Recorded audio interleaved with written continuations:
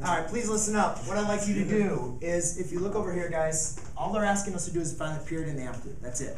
So we just need to remember what our definitions were for the period and the amplitude.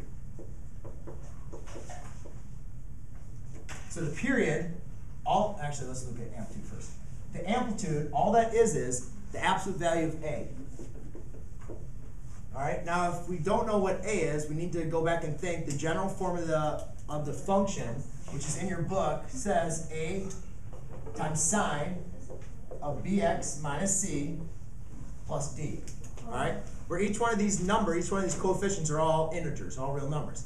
So A is going to be my number that's in front of sine. So I go and take a look. So my amplitude is going to be the absolute value of 3. So absolute value of 3 is obviously going to be 3. So therefore my amplitude equals 3. Alright? Yes? What, when it's like an absolute value, isn't it like just changing it if it's a negative, it'll stay the same if it's positive? Exactly. So if it was negative 3, We call it- absolute value negative 3 is still 3. Yep. But it's positive three, right? Yeah, That's it's- easy, yeah. amplitude So equals it's- A. Right. amplitude, you can't put that. Pretty much. Except if it's negative, then it's the absolute value.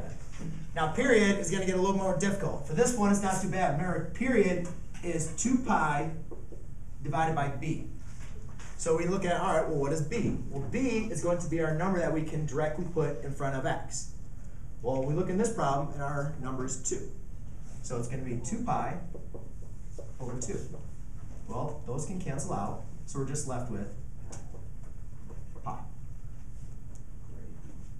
Done. Okay? And we're going to talk more about what the period and amplitude are in a second, but the important part of just being able to find them is really is really important for you guys to be able to graph. That's the formula. Remember, I told you.